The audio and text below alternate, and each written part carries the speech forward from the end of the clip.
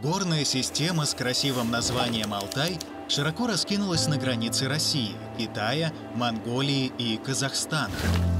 Высокие хребты со снежными вершинами и темными пещерами разделяют глубокие бурные реки, обширные равнины и чистейшие озера.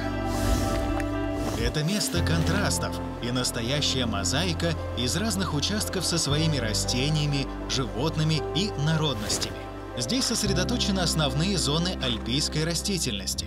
Тут можно встретить степь, лесостепь, смешанные леса, субальпийский и альпийский пояса.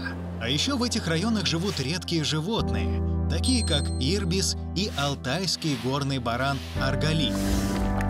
Благодаря уникальному разнообразию ландшафтов, растений и животных, 1998 году ЮНЕСКО занесло три участка Алтайских гор на территории России в список всемирного наследия.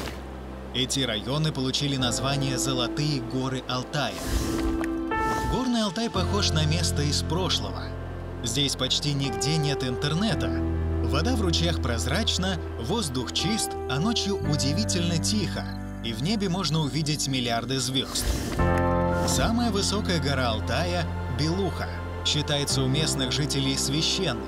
Они верят, что на нее подниматься нельзя, хотя альпинисты со всех концов мира любят это правило нарушать. Своей формой гора напоминает огромную ледяную стену, а из ледника у подножия Белухи вытекает крупнейшая алтайская река Катуни.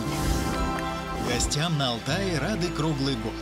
Зимой здесь можно кататься на лыжах, летом ходить в походы и сплавляться по горным рекам. А осенью местные деревья становятся золотистыми, а Катунь — бирюзовой.